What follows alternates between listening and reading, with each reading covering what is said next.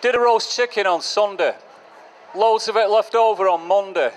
Had some with a salad on Tuesday. Fridge was on the blink on Wednesday. Chanced it in a curry on Thursday.